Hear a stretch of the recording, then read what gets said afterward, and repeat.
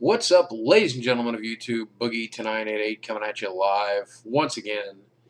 Um, my girlfriend is out of town, and that means I'm kind of completely on my own when it comes to what I eat, and what I do. I'm used to having her around, helping me out with uh, making sure that I watch what I do, watch what I eat. Um, she helps prepare most of the meals, yeah, probably all of them, and uh, what she does, obviously, she's helping me count calories and stuff. Um, uh, but now I'm really only accountable to myself, and I have been for the past three days. And for the past three days, I've actually nailed it. Um, so I'm really proud of it. Um, really proud of myself for getting them, uh, keeping the motivation and keeping things going. And she won't be back uh, till Wednesday, I think, maybe Thursday. and so I've got a lot of days left to screw up, but I don't plan to do it. Um,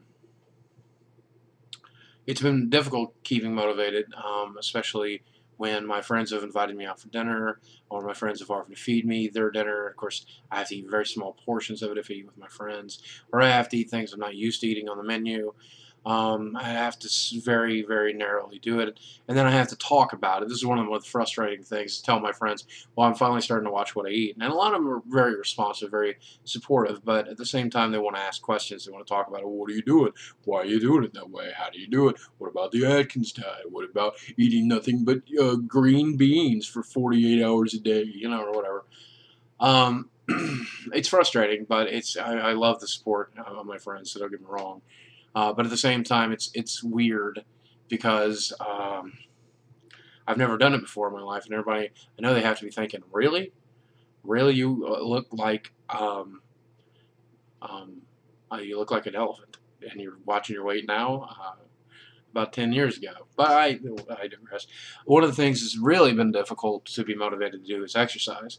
Um, and there's some safety issues even there. I, I hate the idea of going to the pool alone. I hate the idea of, of getting out in my car that has no air conditioning in this 100 degree weather. Um, and I worry about it, and I worry about my safety during it. Worry that if I get too exhausted to the pool, which I have, it'll be terribly difficult to get home. But I'm going to go today. I got this cool underwater MP3 player that connects to my goggles. And I loaded it full of some songs. Um, and I'm eager to try it out. It's actually a, a gift from my girlfriend's mom. Uh, it's something that I really wanted, and so she bought it for me. Thank you, Linda. Um, so I'm going to go give that a shot today and see if it's fun. Anything that motivates me to get to the pool because uh, I have not been there now in about four and a half days, and that's a mistake because uh, I need to be in there every other day or close to it.